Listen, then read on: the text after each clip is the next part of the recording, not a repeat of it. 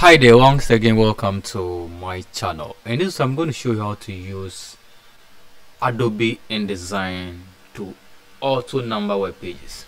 So adobe indesign is one of the amazing tools out there that you can easily use to create magazine brochures and other books that you will need to use for your own stuff so let's assume you want to create a page like just as I have I've created a brochure and as you can see I don't have any number. So how do I put numbers on these pages? I want to auto generate numbers for these pages. I can't do it manually because I have a lot of pages. So I just want to automatically assign numbers to these pages. So in this tutorial I'm going to show you how to do everything step by step stay tuned to the end of this video in order for you to see how I'm going to do this.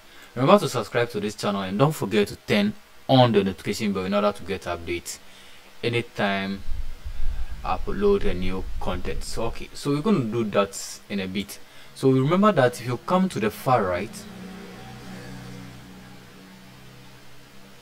I have my pages showing up over here. You can see that it has been numbered in that order but the numbers are not showing on these pages so i'm going to use a technique to add that. If you come to the far right corner where you have what we call a master a master. So in this master page this is where i'm going to add my numbers. So as you can see we don't have numbers for now. So i'll just double click on my master the first one. And when i come here this is actually my master page. So when I assign the numbers over here these numbers will appear on each and every individual pages so to go ahead to do that I'm just going to use a text tool and then I want my number to show out here. So I'll go to my tools column and select my my type tool and then drag it over here. So all I want to do is that I want to see page and then the rest is going to follow. So to get my number auto generator i'll go to type in my menu and then i'll go to what? You go to special characters so if you go to special characters then you just have to go to markers when you move to markers then you select what? Current page number. When i click over notice i have what? A assigned over there. So that's going to be a default number. So this is going to be the number that will be generated auto. Okay? So this is a number that will be shown on each and every page. I still need that number on my so my pages is going to be two left and right and I want the same number to be generated on that page. So I'll just copy this and I'm just going to copy the same thing and paste it on the other part of my web page. Okay. So when I when I drag this when I paste this I'll just drag it to this side of my page and let me reposition this. So once this is set I we go back. So let's just go back and then click on click on our main page from here. When I double click over you can see this time around the number is showing. So go to every page the numbers have been assigned automatically as we wanted. But you can see right now it's starting from 3 so that means my page cover to has been assigned a number which I don't want. So I don't want my page number to be assigned a number my first page I put a picture over there so I don't want the number to show over there. So I want page 1 to start from here instead of page 3 so it's starting the 1 from here. So how then do I go there? Or how then do I manage that? Or how do I correct that? To do that I'll come to my pages over here.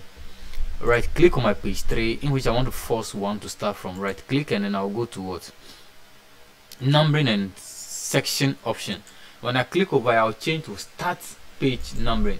So I want this to start from what 1 so I'll change 3 from I'll change from 3 and I'll type what 1 every other thing is going to be the same okay? And I'll click OK. I'll just ignore everything and click OK.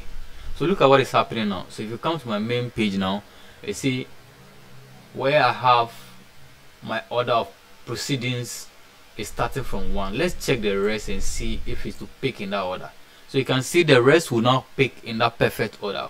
One two three in that order. So we can just go ahead and then